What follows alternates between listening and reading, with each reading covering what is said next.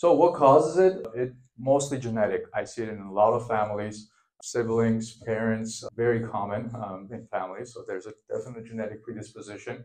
It's very common in neurodevelopmental uh, and other neurological conditions. Also in like visual system imbalance, if there is like a balance issue between the eye muscles or the cranial nerves and some muscles are overworking and some are underworking will create a lot of strain on the actual uh, cranial nerves and the extraocular muscle. Affects posture, so spinal issues can create these issues or neck problems can create these issues and vice versa.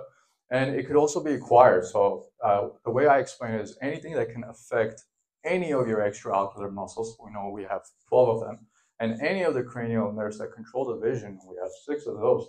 And 70% of the brain that processes it all can cause binocular vision dysfunction because there will be a mismatch between the way your brain is using your two eyes to process your visual system.